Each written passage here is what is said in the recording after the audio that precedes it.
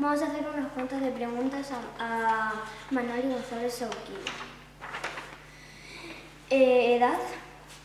49. ¿Sexo? Eh, chica. ¿Hobbies? Eh, me gusta me gustan mucho las plantas, me gustan hacer actividades manuales, reciclando cosas, cosas de antes y haciéndolas como rústicas, con, con cestas y telas viejas, ¿vale? Luego, por ejemplo, estos con botellas de conserva. Me gustan mucho las plantas también y los animales. Hemos tenido mascotas, he tenido una, una chinchilla, he tenido una ninfa que la tenía suelta por la casa. Entonces leer también me gusta, claro, trabajo en una biblioteca aparte. Aquí está la biblioteca. Mm, ¿Los productos que más, que más adquiere? Pues eh, ahora mismo estamos con la preparación del cole y tal, pues material para el colegio, para los críos, ropa, chándal, eh, alimentación sobre todo para el uso diario y pues eso. Eh, ¿El último producto que ha comprado?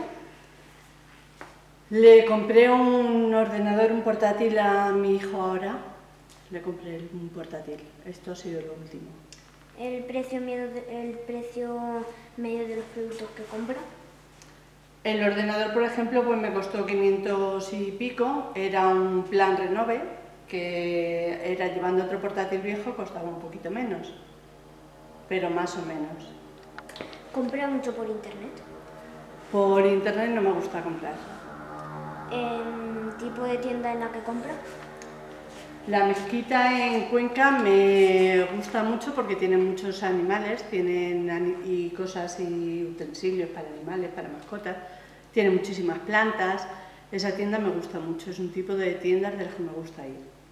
Eh, ¿Qué producto le gustaría que fabricáramos? Eh, los críos, cualquier producto que hagáis queda bien. Por ejemplo, yo compré esto en un mercadillo que se hizo y lo habían hecho, lo habíais hecho vosotros. Entonces, pues cosejas con arcilla, plastilina, cosas así quedan muy bien.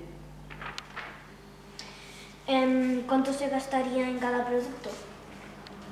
Pues siendo para vosotros, pues a partir de 5 euros estaría, estaría bien.